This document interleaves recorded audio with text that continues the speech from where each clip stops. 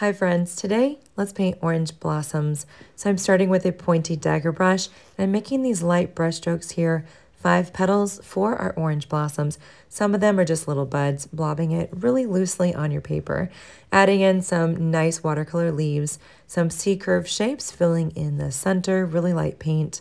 And then adding in some brighter yellow for our blossoms and our buds, also connecting them with a liner brush.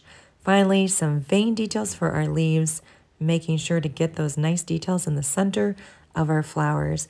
Happy painting, guys, and I hope this brings you a little bit of joy today.